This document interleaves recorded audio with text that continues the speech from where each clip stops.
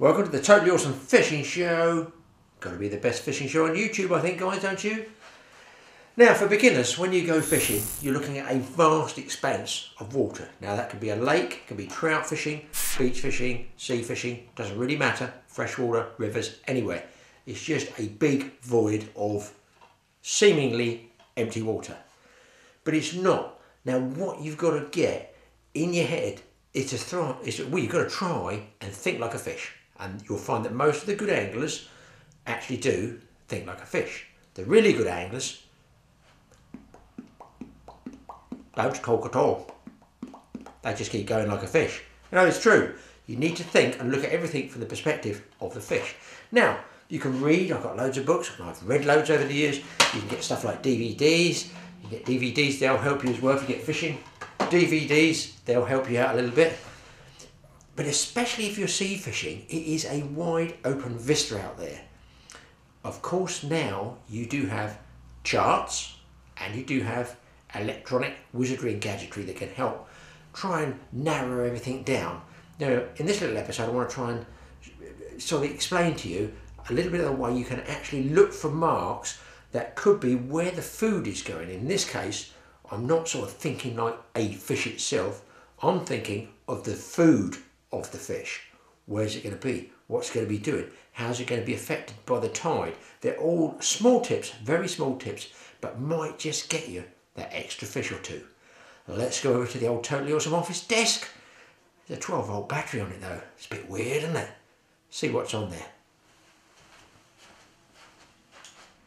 Okay, now if you're going out in a boat, you obviously need to know where you are going. You should therefore invest in, and they're not cheap, Admiralty charts or the equivalent of a set of charts for the area you're going to fish in. Now, I don't know whether this is true or not, but I did hear if you go out to sea in a boat, a kayak, anything, and you do not carry the charts relevant to the area that you are working in, and you then unfortunately, God forbid, have a crash, sink, ram into somebody else's boat, etc., that you're not insured.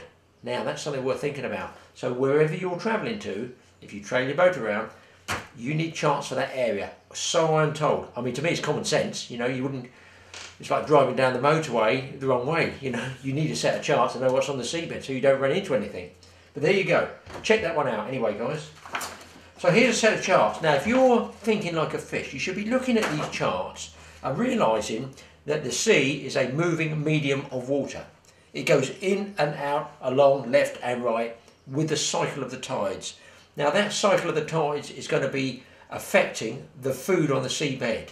And that's the way I look at it. I'm not sort of, well I am thinking like a fish. Well I'm part fish anyway, I've got fins underneath this t-shirt. You should be thinking like a fish, but you should be thinking like the food that the fish eat and working out where they're going. Now I've never been to these two places before, but there's a couple of marks here. I'll probably go out with Wayne on High Sea drift on my boat and we're going to poke around and have a look, see what we can catch there. But I just wanted to show you how to get a sort of a definition on what to look for on a mark. Now, binoculars on, got two pairs, you know, in case one doesn't work, I can use the others. So in here, this is the southern coast of England. There's the Isle of Wight is there. I'm coming out from North Marina and we're travelling out to a spot just off the Medmery Bank and also two between two buoys called the Puller and the South Puller Buoy. Uh, there is the Puller Bank noted, you know, just off here as well. It's off basically, it's off Selsey Bill. So if you're a worldwide angler, it won't have any meaning to you. But do you know what? It's a similar thing wherever you are in the world. You need to research in the charts and listen. Do a bit of pioneering. It's all very well listening on the radio, getting a bit of fisherman's gossip as to where the fish are biting. But there's quite a buzz when you come to go and do it all yourself. A bit of pioneering fishing. You pull up a paper chart like this and you think, do you know what? I quite fancy fishing this area here. Now this chart obviously has a lot of the detail you want, has the depths, um, you know, it's obviously got the longs and lats so you can, you know, you can get a ruler and a pencil and you can mark out where you want to fish on there. It doesn't carry the definition that the new charts do, the chart cards that go inside your plotter and sounder. Now I'm all new to this, but I'm definitely not new to fishing. But I'm going to be utilising these chart cards We've got Navionics uh, Platinum one in our um, Lowrance HDS7 touchscreen, I think it's called. And having played with it a couple of times, I'm very impressed with it. So here we are, there's the chart card there. you can see where we began coming out. We've got Medmery bank there, and we've got the puller bank here. But even though there's the hole I want to fish just in here, and there's a circle within that hole, in other words, there's a depth within a depth, the chart card shows more than this particular chart does. I'll show you what I mean. Okay, now put the chart away. I've actually got my uh, Lowrance unit in here from the boat and I've wired it up to a 12 volt battery down there so that at least I can I can play around with it in here and it's much better. I could have done it out, out of sea but the boat's pitching all over the place. I figured it just might be easy to show you on the screen and if you're like me, a bit slow with things, a bit slow on the uptake, you might want to look at this and then you can rerun it twice, can't you? You can always have a look at it again. But this is how I'm going to be looking for these two marks. Let's get it fired up. Okay, so this is what you get when you start with a Navionics Platinum chart card. This is on the, as far out as I can zoom, and as you can see, it covers all around, you know, Hungary, Europe, England, Ireland. There's a huge amount of um, area it's covering, and my little 17 footer will not be fishing off the coast of Spain, so a lot of it I won't be using. This area I will be between, you know, the southern half of England around to Ireland I'll be using. So that's what it starts with. As you see, it's broken down into charts similar to the Admiralty chart. So then all I do is I'm going to go in on this. Now this gives you an idea of the definition these do go in on. You can just keep zooming in, going past Germany, France, to the south coast of England. And we're going in and in and on the south coast of England. London's up here. There's the Isle of Wight. Now I've already pre-marked some uh, areas there. I'm going to keep going and going. And you might recognise that basis from the Admiralty chart that we had earlier on I showed you. But once you get in closer, you'll start to pull in, wow, loads of information. Now, there's the south coast. That's just the corner there. I'll zoom so you know where you are. That's a corner of the Isle of Wight. Big curve of land here, okay? It's big curve of land. And it comes around here to Selsey Bill on the top. Now, any tide going east and west, which are always going ebbing and flooding, is going to hit this, come off this point here and come across here scouring out. Now that would be a good place for food to go. A lot of tide there on big spring tides. And the same, conversely, when it goes the other way, the tide's going to hit this curve of the beach, the shoreline, the landmass, come around and kick off out there. So if, if you can imagine, just lean across, get this pen here. There's the tide coming along here. It also comes around from the island, so you, you're getting a visual of now, what will be happening to the water? Well, it's going to be coming that way, one tide, isn't it? So remember that line there, okay, like that. And it's going to be coming the other way. It's going to be coming there when the tide turns. Oh, look, there's a sort of crossover point, isn't there? There's a crossover point, you know, down in here somewhere, just down in that general area of a, you know, a couple of three square miles. There's an area, to me, that on both states of the tide, the fish could well be in. Any food that's tumbled along with the tide might just hold up here. Now then, here's my really, really is, is, is my idea of thinking.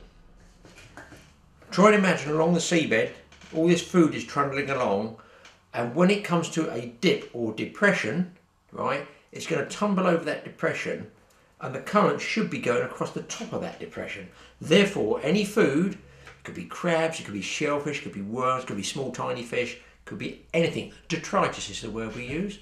That means any sort of foody rubbish that the fish eat tumbles along the seabed, rolled along like this with the current, and then there's a depression and it goes pop and it just lays in that little depression just off the back of the bank, in a hole effectively.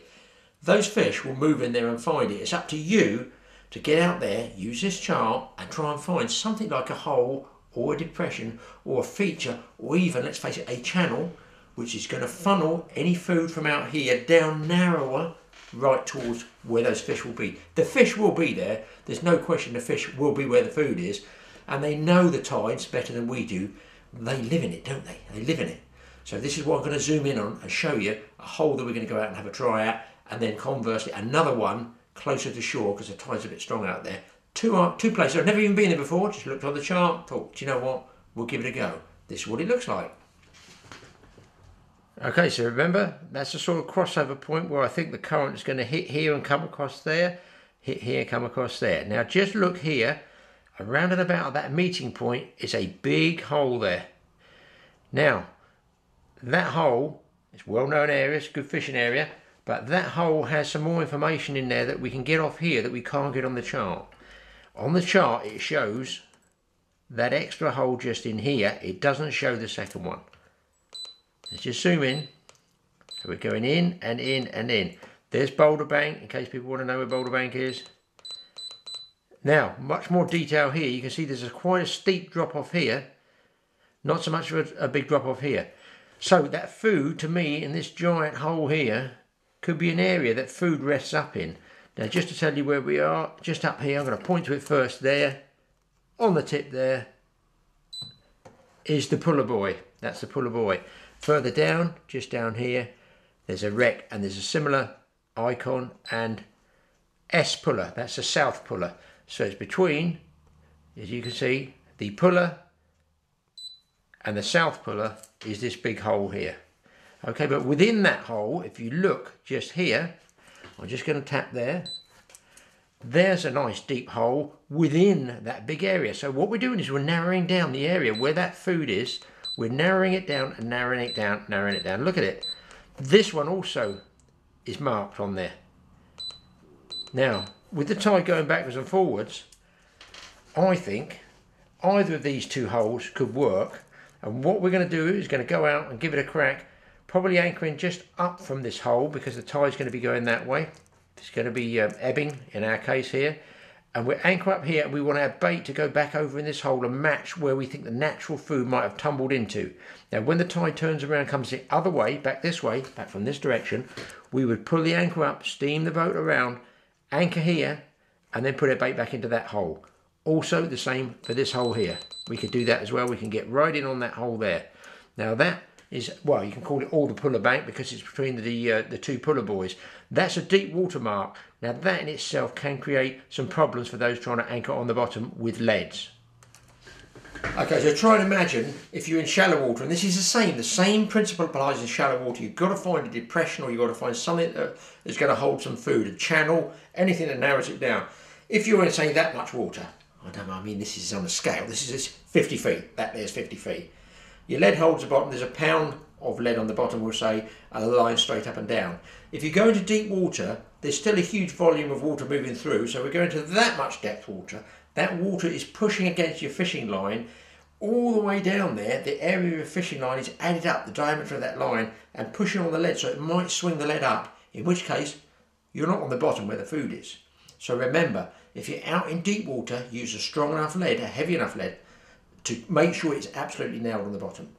Now we're also going to be looking at another mark in here called street, which is a, a similar sort of food holding place where the food's going to get channeled through, but much shallower.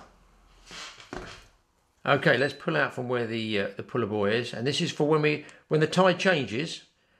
It's going to be very very strong out here. We're going to come in here now. There you can just see there's Selsey Bill. There's a drying area there, and there is a channel. You can see between the bank here. So I'm going to put the cursor about there. It's a little bit on the bank. In we go, and there's that channel. It says rocks, guys. This is why another reason why you need charts. Let's go in and take a look at it. Lots of contours. And there is, I'm going over a little bit, street. Only done that so you see it. It's just a mark that's called street. Now, within that, if you just have a look here, food can get piled through here with the current. It can also run all the way around the edge here so we're going to try somewhere up here in the shallow water, just away from that bank in the hope that any current, residual current, might just flow in or out of that gap there, just through there. The majority of the current will be down the bottom, but it could trickle through here. And if there's food rolling through there, that's where the fish are going to be. So we're going to try outside by the South Puller Buoy first. And then when the tide gets too strong, we're going to come in here. So two areas that you need to look for for fishing. Of course, the next thing is You've got the tips there to find some fish. Let's see if we can put into practice that which we preach. Right guys, well we're on uh, a mark here south of the Puller Bank. Um, what the Puller is, it's uh, you've got the Boulder Bank, which is uh, an extension from Selsey Spit, and as it runs north to south, it turns and goes uh, east to west, and that's called the Puller Bank. And uh, we're just south of it in some deeper water, probably about 90 feet where we are. Um, we're hoping for tope actually, because uh, now's the time for the, the big females. Unfortunately, as has been the way of the last few years, the mackerel are very, very difficult to come by.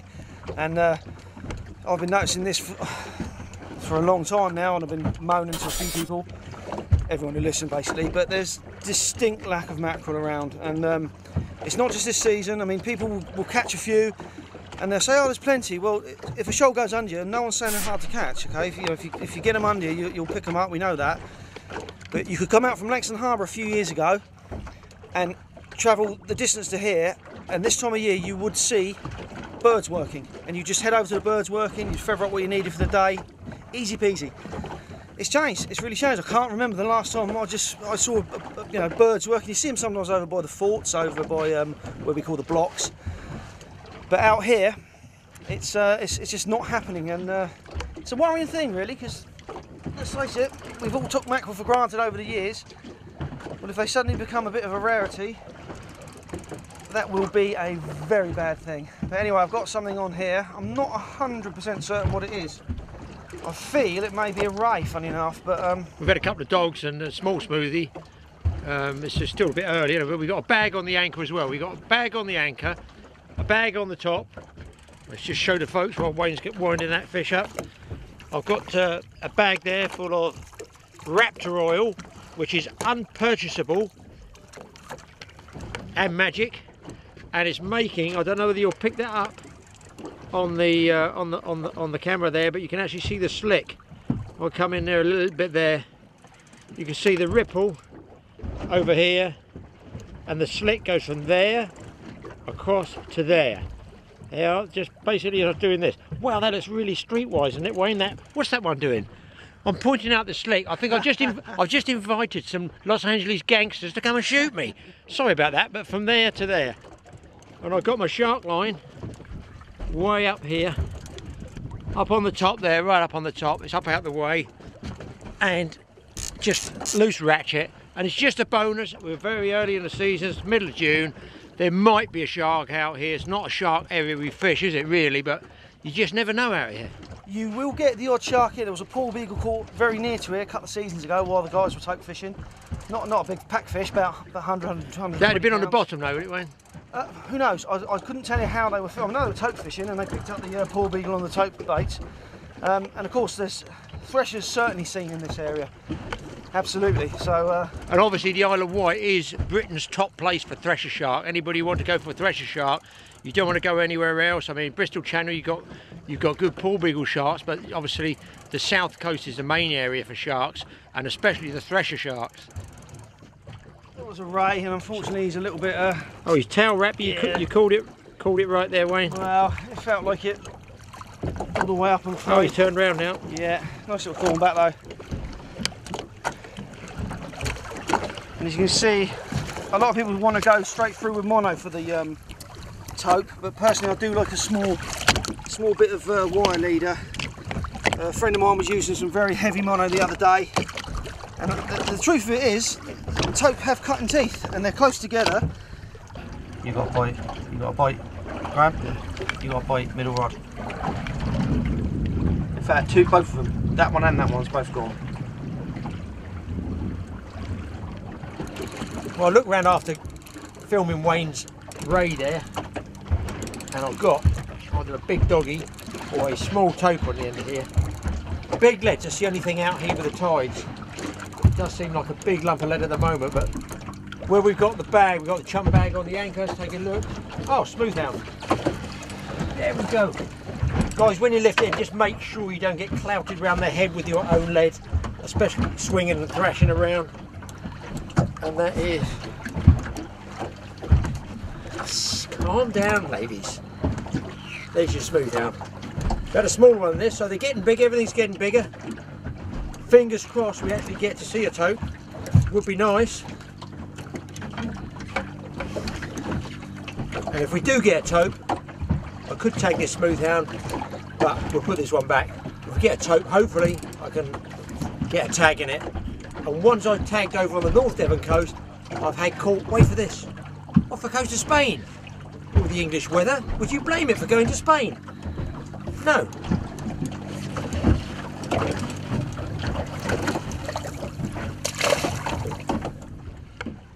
Mm, no, it's taking a bit of line anyway.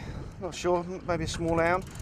We, uh, we basically scoured down because uh, there was absolutely no point in in going for the, you know, for the, for the tope where we are at the moment. The, the tope do run through here, but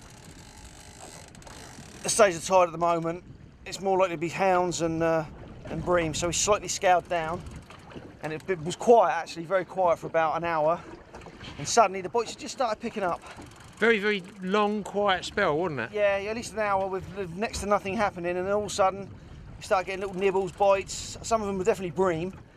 I have a feeling this is poss- possibly a, a hound. It doesn't feel very big, but anything's welcome at the moment because the fishing's been really, really sketchy today.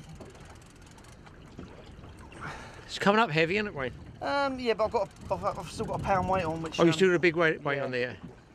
It's, it's, it's not a it's not a big it's not a massive fish that's for sure. It might be reasonable, but it's not um not huge. I'd say probably a you know smallish hound maybe. Oh, yeah, you called that one? You called there, There he we go. is? There we go, hound about six pound. And that was on squid head, yeah? Yeah, yeah. Whoa, easy now, fella. Now he tries to go crackers. Come on, silly. He was quite early on, wasn't he? Yeah, yeah. He's saved all his energy for uh, the. It's the sort of fun you get when you get a 20 pounder, 15 or 20 pounder Right, on the leader. come on, you. That's a well. Ah. Oh, he's got a small hook there somewhere as well. But there you go, nice little starry, and uh, I shall pop him straight back now.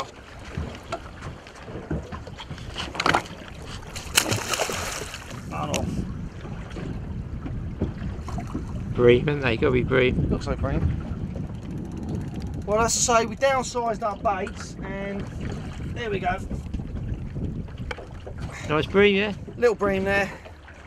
You can see the small hook, he took a little strip of squid. So, uh, well, that was the tail end of the day. We're starting to get some bites now, so that's a smooth out of bream, and uh, I'm sure the other rods were tapping away. So, before we finally end, we should get a few more fish. You think it might be worth freshening up? I've got one more half bucket of uh, chum left, Wayne. What do you think? Absolutely, absolutely. I think you know the, all the rods were tapping away a moment ago, so things are just starting to happen. Anyway, I get this fella back. Well, after those bream, we've had another couple of bream, and we're starting to get bites now, but we've had to come out that tide, it's so strong. And I think Wayne says here down on the eastern white area that you uh, you fish inside on the springs and outside on the neaps, and it seems to be proving right because we had to come in. But of course, we're, we're now trying to catch some of these small fish bites, which are bream, on uh, Cowstar stand-up sticks.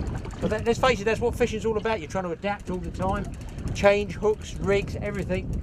As the famous Tommy Flowers, our cartwriter, says, if it doesn't happen, make it happen. And we're making it happen, but on the wrong gear. This is quite a decent bream. That's, that's what you call a hole in the boat. And you couldn't do it with the charter skipper's boat, but we can do it on our own boat. Another bream, but look at the size of the hook. Now, something else we seem to be finding out, which Wayne says, bigger baits actually seem to be getting the bream because you've always got a little bit left on there for the bream to come back. If you use small hooks all the time, then they can nibble a bit off and you'll sit there, you're just looking at a bare hook. But there we go, another little bream. What a good job. We keep changing, persevere. Are we going home yet? You know what the answer to that is, kids. This one is. Bye. Well, what we're doing to boost these bream bites up is I'm using this chum tube, I call it, with two big weights on it. I've used it before in my video, it's been very, very effective. And this is just straight Raptor oil and bran, loads and loads of bran. It goes very quickly. We've got through about three bucketfuls today. But I'll tell you what, it drives those bream into a catatonic state. no, they do actually, they do actually get sparked up. Every time we've been putting this tube down, we've been getting extra bites. And do you know what I mean? It's that late in the day, we decided we're not going to get out. We probably won't get the tope on the inside. It just goes to show you to keep adapting, adapting, adapting, work at it. And I put this down without dripping it on the boat too much. And within a short period of time, I do believe we will have another bream to show you. I hope. Well, I was holding my rod that time, just trying to feel these tiny bites. The bream are just stripping us. And you can't see the rod hooped over. It takes a big fish to do that. I think I might have picked another line up here. But I, I was holding it and I struck it. And it's a good fish. I don't know what it is. It can't be a bream. I might have a couple of other lines as well. I don't use uh, many many rods on my boat as you've seen before on the video. It's, it's, it's, it's twangy. It's a good fish though. It's a real good fish. Hopefully there's enough memory on the card of the camera. It doesn't cut out and I never get to see what it is, or you guys will. Hopefully, I will. Luckily, this is on a decent, uh, decent rod line hook. I've a little bit of hook, big, bigger hook on this one. It's a 4 Definitely not a bream, but I can't see what it is. Like a hound. I think you're right. Wayne's shout was right. Yet again, it is a hound. He's going very, very well. If you get these on light tackle, Wayne, they go really well, don't they? Oh yeah, yeah, very one. powerful this fish. It's not a big one, you know. It's, it's a hound and, and 57 lines, including that bloke's over there half a mile away. That's why he's fighting well. I get him untangled for you, might or might not. I'll tell you, possibly bordering on the suicidal. There we go. Oh. Oh. Oh. Some strength, these fish. My goodness. Come round here, big photograph. A tangle of line, guys. We won't be long, about 30 minutes from packing up, but we finished with a good day in the end. It's been a long day. Not been easy, is it, Wayne, today? Not at all. Not, Not at all, but it's nice when you finish with some decent fish. Just jaw hook there, tangle or not, I'm taking it. As you all do. And by taking it, it doesn't mean taking it home. It means you take it as a Exactly. catch. We're going to release it because, uh, It all goes back. yeah, you can eat hounds, but you know, we. Uh, I think it's far better to eating fish in the sea. So uh, I'd sooner eat that chippy Wayne. I like putting all mine back. So there you can see, we actually did go out and get a few fish. Wasn't great fishing, wasn't great fishing, let's face it. But by using that chart card and tightening down an area and thinking about where the food for those fish might be, not just the fish, the food for the fish, we did okay. On both marks, we caught fish on both marks, and I've never even fished it before. All good news, I feel. I hope it gives you some tips there to at least go out, do a bit of pioneering, do a bit of experimenting, and do you know what? You could actually come up with some totally awesome fishing. Thanks for watching. There's going to be some more coming like this. I've got lots of places I'm going to tell you where to go fishing. And do you know what? We might even give you the GPS numbers of them as well.